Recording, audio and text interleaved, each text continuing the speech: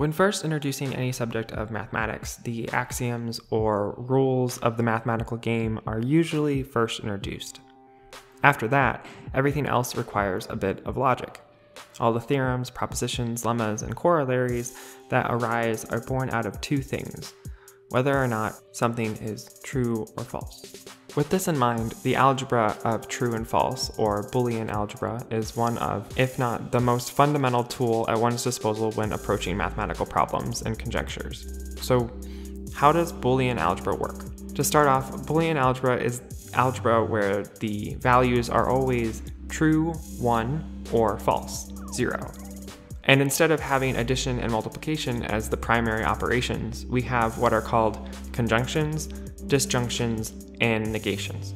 There are a few ways to think about these symbols. First, we could get a little bit wordy. So conjunctions are and statements, disjunctions are or statements, and negations are not statements.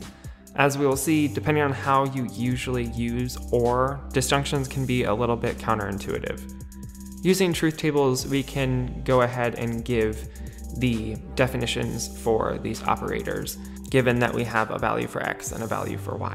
These are the possible values of x and y, and x or y, and not x. When looking at the truth table for x or y, you might get tripped up by the true or true yields true, depending on your primary use of or in everyday speech. But this is how the disjunction operation is defined it's an inclusive OR. And that leads us to another way of thinking about these operations with sets. Instead of saying that true is 1 and false is 0, we can instead say that true is the set containing 1 and false is just the empty set. From this framework, disjunctions become unions and conjunctions become intersections.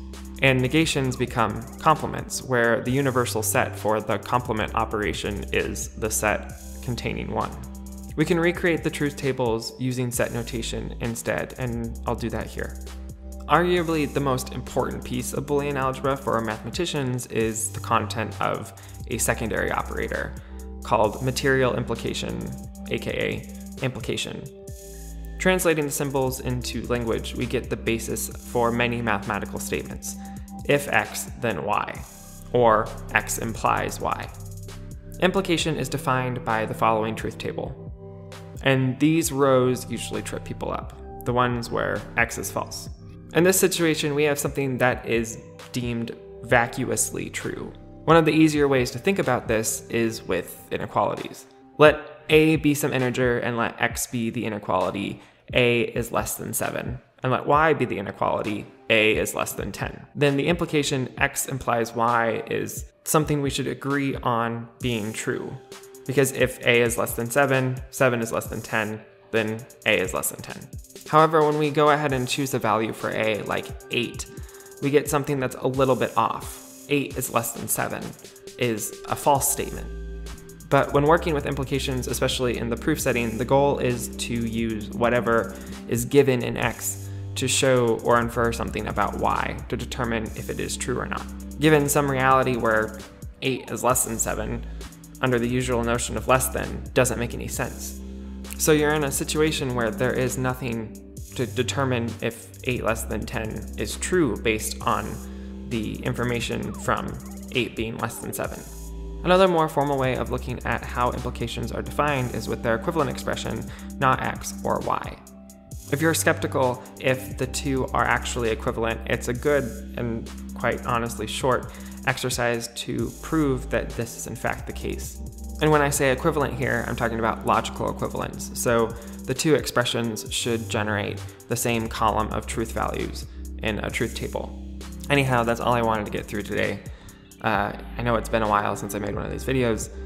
I have started a new job, I moved into a new apartment, and it has been quite hectic finding the time to sit down and film and record and make sure that everything looks nice.